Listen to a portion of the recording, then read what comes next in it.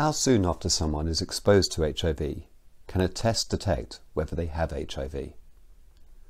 Regular HIV testing ensures that people with HIV can access treatment earlier, which prevents illness and means we can't pass the virus on to our sexual partners. For all HIV tests, there is a window period between the time that HIV may have been passed on, in sex for example, and the time that it shows up as a positive result.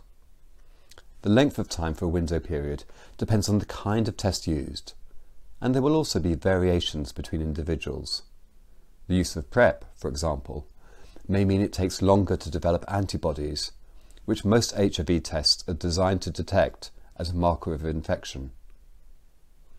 A fourth generation laboratory test is recommended in UK and US guidelines.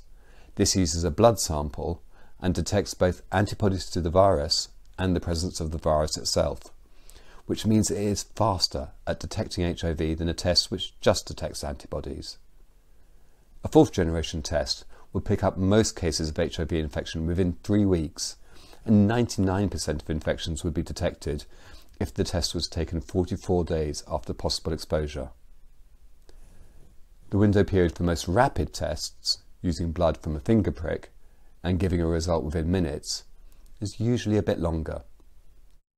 Most of these tests only pick up on antibodies to the virus, which take time to develop 99% of infections would be detected after 50 days, just over seven weeks.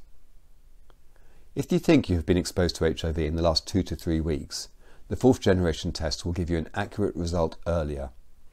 If your last possible exposure was more than a month ago, it doesn't make so much difference. Knowing your HIV status is crucial.